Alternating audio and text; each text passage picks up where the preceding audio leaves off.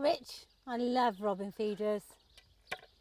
Fabulous little machine really, very easy to fill up, but it tends to exclude larger birds. Got some mealworms. So yeah, so favourite food. Well, that's right, and it's especially good for mealworms because they're kind of, you know, they're a little bit more expensive than conventional bird food. So if you want to support those wrens in the garden and the robins especially, then this is a perfect way to present the feed. Now this is my favourite bit. I'll hold okay, it. Okay, you hold it, and then so this little screw is a relatively easy thing to do, of course. Now that Mr. Robin can get in there, perch on the side, as can Mrs. Wren, and you can just literally tighten up that screw, and there, hey presto, you've got a, a little globe roofed feeder.